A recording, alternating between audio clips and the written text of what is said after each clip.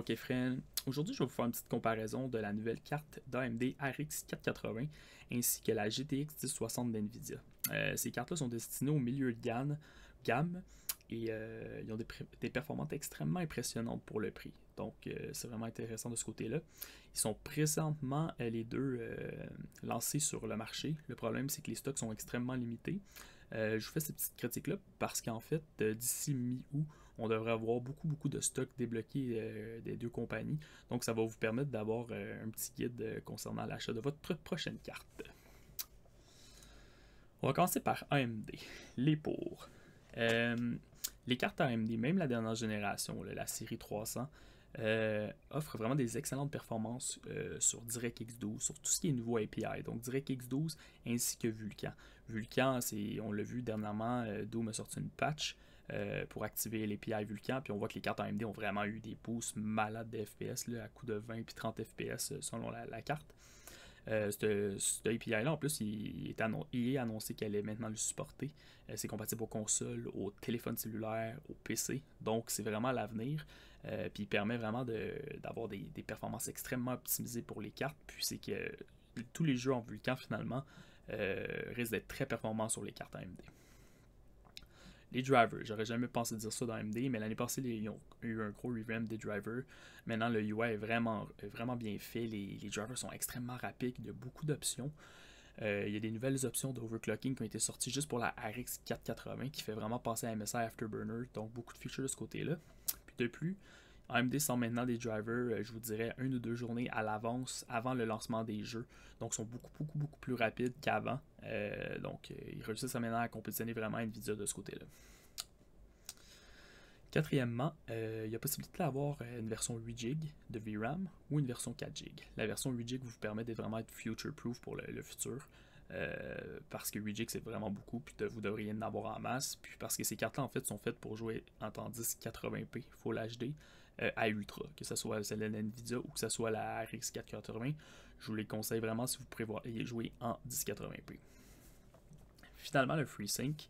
Le FreeSync, c'est c'est un feature finalement qui, vous permet de euh, synchroniser votre carte vidéo avec votre écran pour éviter le tethering quand vous débarrez par exemple votre, euh, euh, votre V5 sur un jeu vidéo pour avoir votre 144 Hz par exemple quand vous avez un écran de gamer, que ce soit une BenQ ou une Asus ou peu importe la marque. Donc c'est open source, Intel le supporte, AMD le supporte. Par exemple, Nvidia a décidé de ne pas le supporter puis ont créé leur propre truc qui s'appelle G-Sync qui coûte normalement 200-250$ de plus pour un écran. Donc, euh, c'est un gros avantage ici pour les, cartes AMD. Si vous prévoyez euh, acheter un écran FreeSync, vous avez comme pas le choix d'acheter une carte AMD.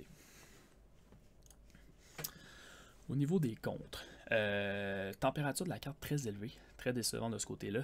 On a changé la gravure pour cette architecture-là, puis AMD avait prévu des meilleures performances, mais quand vous envoyez un full load dessus en utilisant des benchmarks comme UniEngine ou 3D euh, Mark, on voit que la carte de référence avec la turbine atteint 80 degrés, puis les cartes custom peuvent atteindre 74 à 75 degrés, c'est extrêmement élevé par rapport à Nvidia. Potentiel de l'overclocking euh, très limité, 10% maximum. Euh, il y a possibilité de changer le voltage aussi, puis d'aller chercher un 15%. Mais encore là, ça dépend de la carte. C'est vraiment la loterie du silicone qu'on appelle. Euh, donc, vraiment décevant de ce côté-là par rapport à Nvidia.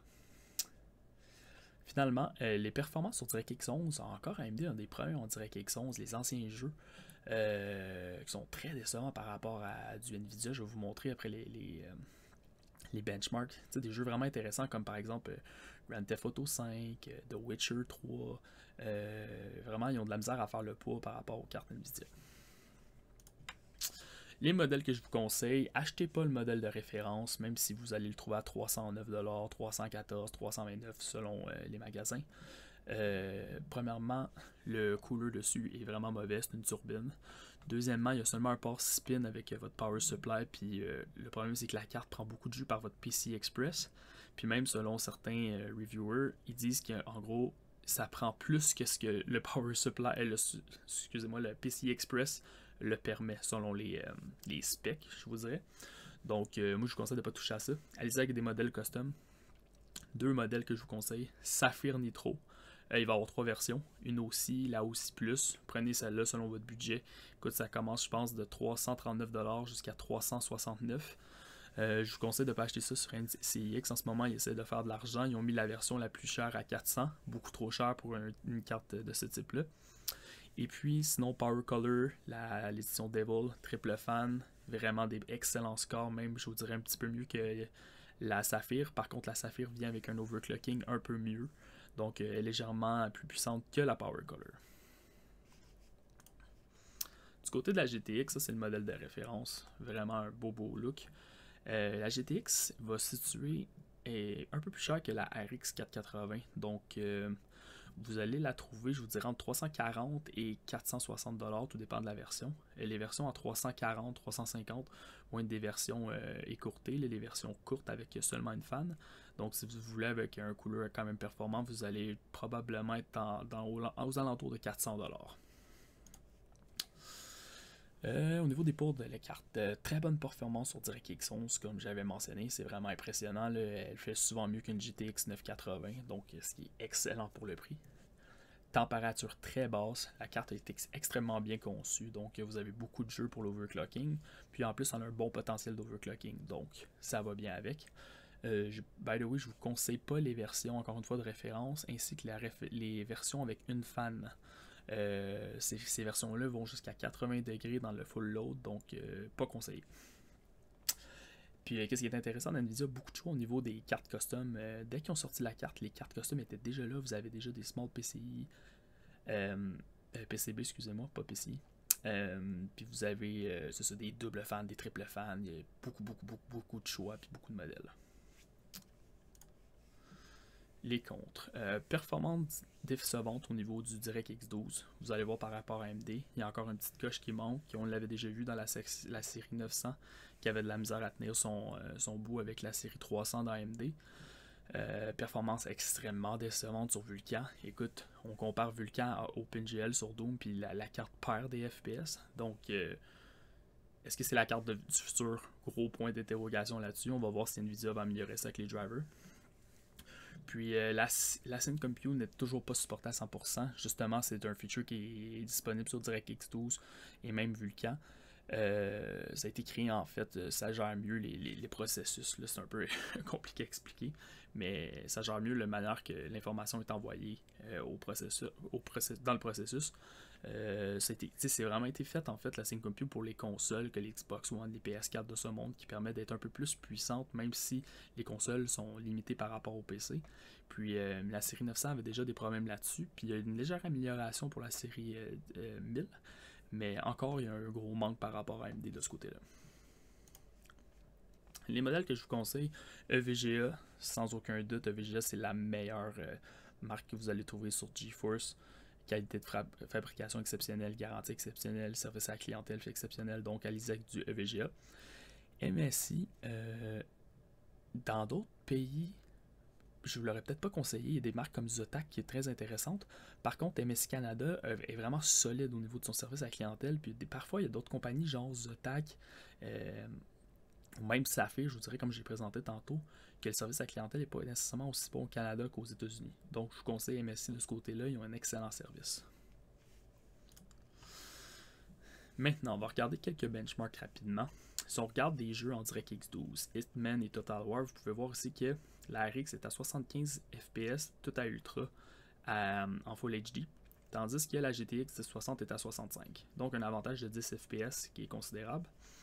Du côté de Total Warhammer, 71 FPS pour la GTX 1060 versus 74 pour la RX 480. Donc un écart de 3, ce qui est potable, je vous dirais. Ça se rapproche quand même beaucoup. Euh, vous voyez, ces cartes-là font quand même des meilleurs scores que des GTX 980, ce qui est vraiment impressionnant.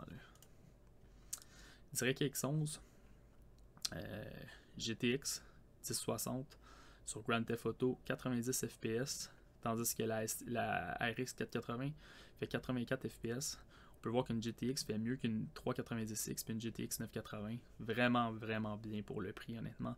Performance très, très, très, très solide. Puis euh, The Witcher 3, 59 FPS tout dans le tapis, tandis que la AMD fait 53. Donc, on voit vraiment que sur les anciens jeux sur direct, basés sur DirectX 11, Nvidia est très performante. Puis du côté du DirectX 12, c'est plus AMD. Niveau de euh, Vulkan, le premier gros jeu qui été supporté, c'est Doom. Donc la comparaison, en gros, vous voyez, en OpenGL, si on regarde les average FPS, pas les minimums, euh, Nvidia fait 83 FPS, tandis qu'ils en font 73 sur Vulkan. Donc une différence de 10 qui est, qui est quand même énorme parce que techniquement Vulkan est supposé être plus performant qu'OpenGL. Sur AMD, AMD fait 78 FPS en moyenne euh, sur OpenGL, tandis que sur Vulkan, ils font 110. Donc, regardez la différence entre 110 et 73, ça c'est vraiment énorme pour une carte qui est du même gamme. Donc, c'est à considérer. Donc, en gros, on va rester ici. Si vous prévoyez vous procurer un écran FreeSync, ok, et puis euh, vous voulez vraiment avoir une carte vidéo finalement du futur, je vous conseille l'AMD euh, avec les optimisations puis aussi, AMD tout le temps eu une réputation euh, des cartes qui scalent mieux sur le temps. Si on compare une R9 290 par exemple à la 780 Ti qui était sortie, euh, quand la, Nvidia est sortie, elle avait 5%, était 5% plus puissante. Puis quand on a regardé deux ans et demi finalement plus tard, la, la elle, a finalement été 40% euh, plus puissante dans les nouveaux jeux qui sortaient. Donc, euh, ils ont quand même une réputation de, supporter leurs cartes longtemps et de ne pas les mettre en legacy rapidement comme Nvidia a tendance à faire. Par contre, les jeux en DirectX 12, ça va pas nécessairement sortir beaucoup cette année, puis peut-être même pas l'année prochaine. Plusieurs early access, tous les vieux jeux souvent sont DirectX 11, puis des jeux comme même Rocket League, je pense que ça utilise DirectX 10 ou 9. C'est même pas. Euh, donc, euh, pensez pas que tous les nouveaux jeux qui sortent sont DirectX 12, c'est quelque chose qui s'en vient dans le futur. Donc, si vous voulez des, performances présentes, euh, je vous conseille la Nvidia GTX 1060. Par contre, assurez-vous de regarder bien les prix. J'ai vu beaucoup de fluctuations des prix, euh, que ce soit dans plusieurs sites, Newegg, NCX ou. Euh, c'est quoi le dernier que j'ai vu Canada Computers. Si vous êtes capable de trouver une Nvidia moins chère qu'une AMD, allez-y avec la Nvidia parce que techniquement sur papier est un petit peu meilleur pour le moment. Donc, euh, vous n'allez pas vous tromper à aucune des deux. Puis, je vous l'ai dit, si vous voyez des AMD en haut de 400$, achetez pas ça. C'est une compagnie qui essaie de faire de l'argent sur vous parce qu'en ce moment, il n'y a pas beaucoup de stock, donc ils veulent en profiter. Fait que je vous dirais que pour une version custom, AMD paye maximum 379, une version overclockée bien sûr, pour la version 8 GB.